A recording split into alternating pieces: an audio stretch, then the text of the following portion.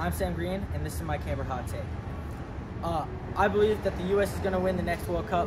Uh, due to all the stars that have taken off the teams from all over the world, there's more potential for the U.S. to step up and rise against all these better teams. Uh, one, Christian Pulisic is able to lead this group. Sadly, they got kicked out of the Copa America early this year, um, but that doesn't mean that they're a strong team and they can go forward in the future. I'm Sam Green, and this is my this is my hot take.